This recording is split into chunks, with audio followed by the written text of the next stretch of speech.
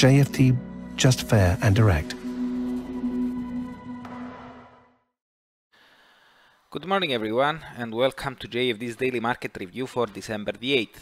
I am Charalambos Pissouros, head of research here at JFD and I will talk about yesterday's main market movers, what's my opinion moving ahead, what are today's important events and how they could affect the markets. But before we start, let's read our disclaimer. The content we produce does not constitute investment advice or investment recommendation, should not be considered should not be considered as such, and does not in any way constitute an invitation to acquire any financial instrument or product.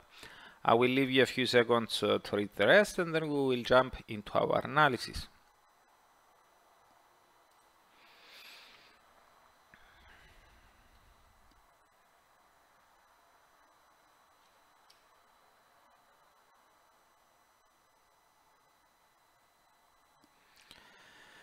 Okay, the US dollar traded lower against all but two of the other major currencies on Tuesday during the Asian session Wednesday. It gained only versus GBP, while it traded virtually unchanged against the euro.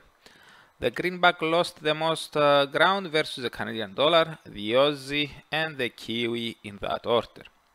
Now, the weakening of the US dollar and the strengthening of the risk-linked Loonie, Aussie, and Kiwi suggest that uh, markets continued trading in a risk-on fashion yesterday and today in Asia.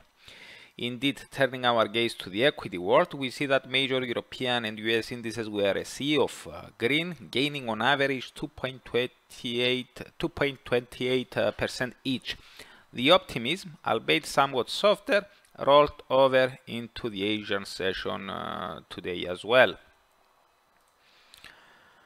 Now, it seems that uh, worries over the Omicron uh, coronavirus uh, variant continued to ease after uh, the British drug maker GSK said that its uh, antibody-based COVID-19 therapy with US uh, partner um, VIR biotechnology is effective against all mutations of the Omicron variant.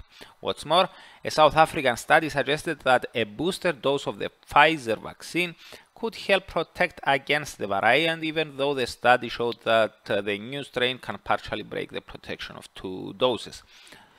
The news came after a South African official said over the weekend that um, that the symptoms of the Omicron variant were mild, with the US infectious uh, disease official Anthony Fauci sharing the same view.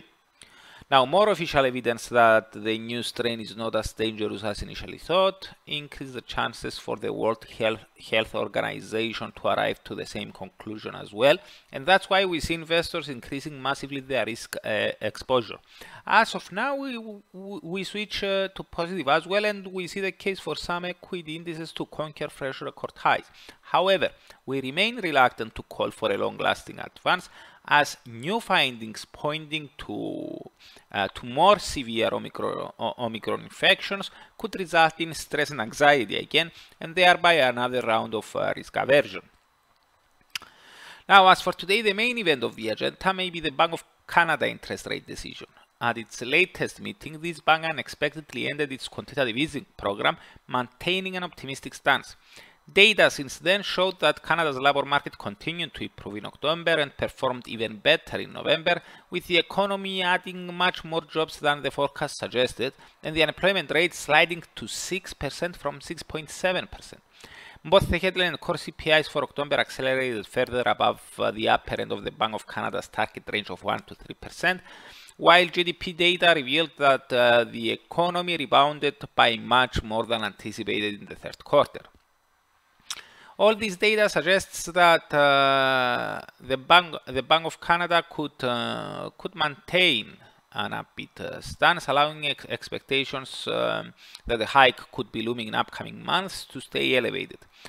However, it remains to be seen whether the new coronavirus, the new coronavirus restrictions would affect policymakers' stance. We believe that uh, it is too early for them to switch to a more cautious uh, stance they may prefer to wait uh, for upcoming data before they arrive to severe conclusions about uh, the impact of the coronavirus on uh, the domestic and global economies. For now, we expect them to stay optimistic, to stay optimistic, something that could support the loonie at the time of the release.